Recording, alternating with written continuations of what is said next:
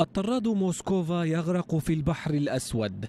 الطراد الروسي الأمهر والأقوى والأسرع والرأس المدبر للعمليات البحرية الروسية يستهدف من شواطئ أوديسا الأوكرانية ليبتلعه البحر بعد عدة ساعات ورغم إنكار روسيا لما جرى لطرادها إلى أنها استدركت ذلك بعد عدة ساعات لتعلن أنه غرق في أثناء محاولة قطره لإصلاحه وذلك نتيجة انفجار حدث فيه.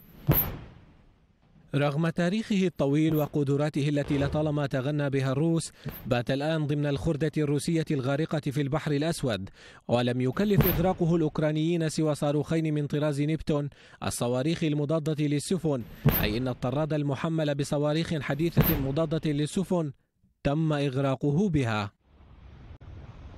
للطراد موسكوفا تاريخ طويل فبعد أن دخل الخدمة عام 1982 وذلك بعد أن استمر بناؤه سبع سنوات كاملة تم تحديثه على فترات متباعدة وتزويده بأسلحة ورادارات حديثة وكانت منطقته الأهم في قاعدة أسطول البحر الأسود ولكنه أيضا كان يقطع البوسفور باتجاه سوريا وقد كان حاضرا في سواحل اللاذقية وكان له دور عسكري بالتعاون مع قاعدة حميميم عام 2000 وستة عشر.